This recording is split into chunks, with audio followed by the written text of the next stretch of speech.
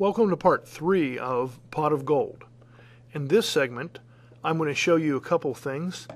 How to take and create this background and paste it in place so that you can finish your project. I'm going to select it and I'm going to delete it so that I can show you how I did this. The first thing that I did was I went into the internet.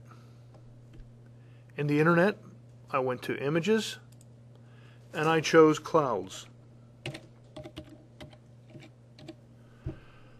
Once you found clouds,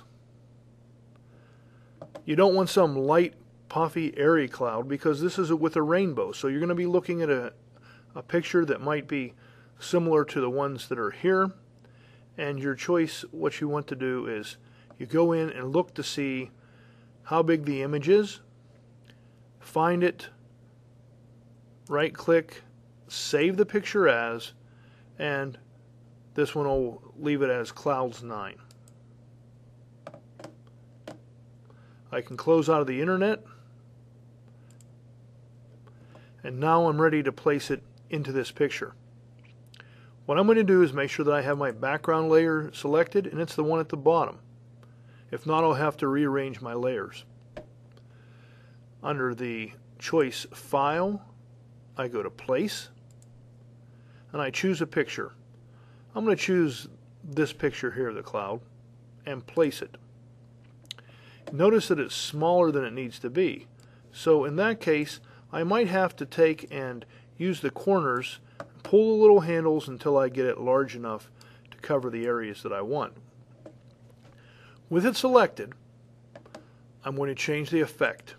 I'm going to go under Effect to Artistic and let's see, I think I want a dry brush, but let's go in there and take a look. If I choose cutout, you can see that doesn't look too much like a picture. And as I go through, some of them really don't give me the look I'm looking for. That one's not too bad. The smudge stick, I could use that. In this case, I'm going to pick the dry brush. And I will say OK. Notice that added an effect to the background and to the picture.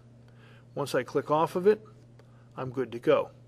If I decide to choose the T for text, I can then come in here and I can place my name in the bottom.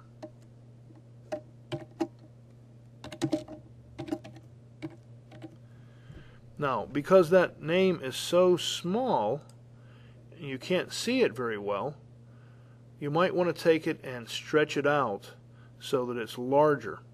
So I might have to scale it or make it bigger to begin with.